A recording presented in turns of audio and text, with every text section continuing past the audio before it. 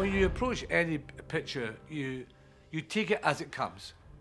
You meet the director, the filmmakers, and you learn through experience to just to listen and to see what the what their vision is, because be, before they approach you, they've got very clear ideas or sort of strong ideas as to how they're going to end up uh, with a completed picture, and you've been part of that picture. A great honour to be to follow in, in, in John Williams' shoes. I mean, he's done so much on a personal level. He's done so much to bring symphonic music back.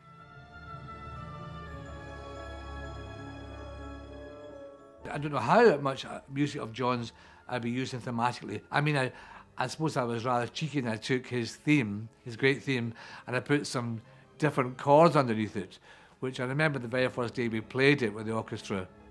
I thought it'd be nice to give it a little twist. See, it's not quite as, you know, it's not quite as jolly and as magical as before. Things have suddenly taken a turn um, in a different direction here. So I felt the music should do the same.